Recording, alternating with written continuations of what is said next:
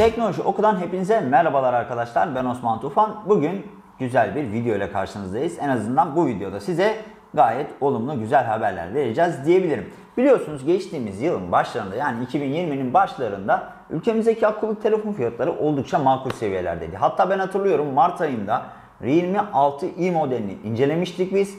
O telefonun çıkış fiyatı 1700 liraydı. O dönemde Realme 5i ise 1400 lira gibi bir fiyattan satılıyordu. Yani çok değil arkadaşlar. 2020'nin Mart ayından bahsediyoruz. Mart ayında fiyatlar bu şekildeydi. Ama ne oldu sonra? Pandemi süreci vesaire girdi. Döviz kurlarında bir dalgalanma oldu ve akıllı telefon fiyatları da hızlı bir şekilde yükseldi. Şu anda mesela ben Realme 6i'nin fiyatına canlı canlı bakıyorum. Şu anda arkadaşlar Realme 6i'nin bakın internet üzerindeki en ucuz fiyatı 2297 Türk Lirası. Dediğim gibi biz o zaman incelediğimizde telefonun çıkış fiyatı 1700 liraydı kampanyalı vesaire. Şu anda ise 2297 yani 2300 lira diyebiliriz. Yani arada 600 Türk lirası gibi bir fark var. Fakat bu fiyat arkadaşlar dönem içinde şu anda bu fiyatın düşmüş hali. Bu telefonun fiyatı dönem içerisinde arkadaşlar 2600-2700 Türk lirasına kadar çıktı. Yani çok değil. Bakın Kasım ayında bu telefonun fiyatı 2700 lira civarında bir fiyatla zirveyi görmüş durumda. Peki ne oldu da birden 2200 TL seviyelerine tekrardan düştü? Tabii ki arkadaşlar döviz kurlarında bir daralma yaşandı. Bu daralma neticesinde de ne oldu? Dolar özellikle hali değer kaybetti. Bir ara biliyorsunuz 8.6'ya kadar yükselmişti. Şimdi ise mesela an itibariyle 7.38 seviyesine kadar gerilemiş durumda. Peki gelecekte ne olacak? Biliyorsunuz Türkiye'de dolar birden yükseliyor. Sonra yavaş yavaş düşüyor vesaire. Dolayısıyla kullanıcılar şu soruyu sorabiliyor. Ya ben işte bilgisayar alacaktım, telefon alacaktım, herhangi bir teknoloji ürünü alacaktım. Dolar acaba daha da düşer mi? Yoksa yükselir mi? Yani şimdi almalı mıyım? Yoksa biraz daha beklemeli miyim diye sorabiliyorlar. Biz bu videoda aslında bu sorulara cevap vermeye çalışacağız. Bu yanıtımızı da uluslararası kuruluşların dolar, TL yani doların TL'ye oranı ya da Türk lirasının değer kazanıp kazanmaması yönünde yaptıkları tahminlere dayandıracağız arkadaşlar. Normalde biliyorsunuz Merkez Bankası genel itibariyle her yıl çeşitli tahminler açıklıyor. İşte yıl son tahminimiz şu kadar, yıl son tahminimiz, dolar tahminimiz bu kadar diye. Fakat bunlar yıl içerisinde sürekli değişken olduğu için çok güvenilir olmayabiliyor. Lakin uluslararası kuruluşlar genel itibariyle ortak bir paydada buluştuklarında bu verilerin daha güvenilir olduğunu söyleyebiliriz. Peki pek çok kuruluşun 2021 yıl sonu itibariyle Türk lirasına bakış açısı nasıl olacak? Biz biraz araştırma yaptık arkadaşlar. Yani bir 6-7 kurum ki bunların hepsi küresel ölçekteki kurumlar. Türk lirasının üzerine yorum yapmış olan kurumlar. Barclays var bunların içerisinde. Robobank var, HSBC var, UBS var, e, Capital Economics var ve geçtiğimiz günlerde son olarak Amerika'nın yatırım bankası olan Goldman Sachs de ne yaptı? Türk lirası tahminini açıkladı.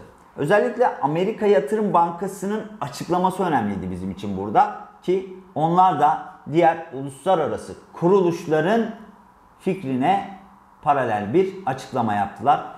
Önümüzdeki 6 ay içerisinde yani 2021'in ilk 6 aylık diliminde dolar Türk lirası oranının 7 TL'ye kadar yani 7 olacağını öngörüyorlar. Bu ne demek?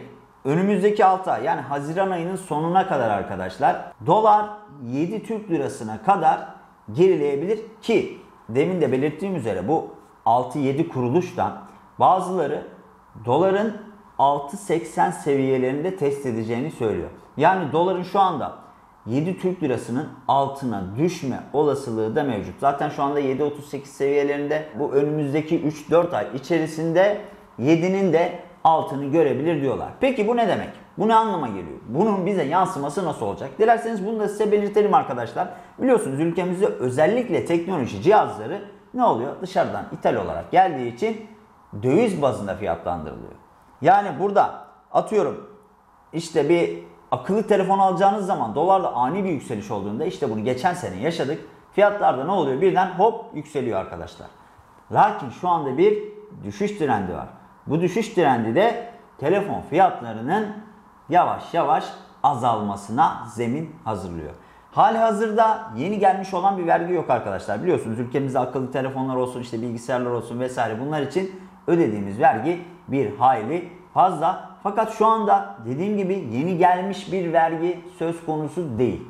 Dolayısıyla geçtiğimiz sene ile döviz kurları üzerinden hesap yapacak olursak akıllı telefonlar üzerinde belli başlı fiyatlandırmalarda düşüşler gerçekleşebilir. Sallıyorum. 300 dolar fiyatı olan bir telefon dolarda yaşanan 1 liralık düşüşten ötürü 300-400 lira civarında ucuzlayabilir. O yüzden size şunu tavsiye edeceğim ben. Eğer bu aralar yeni bir akıllı telefon alma düşünceniz varsa biraz beklemenizi tavsiye ediyorum.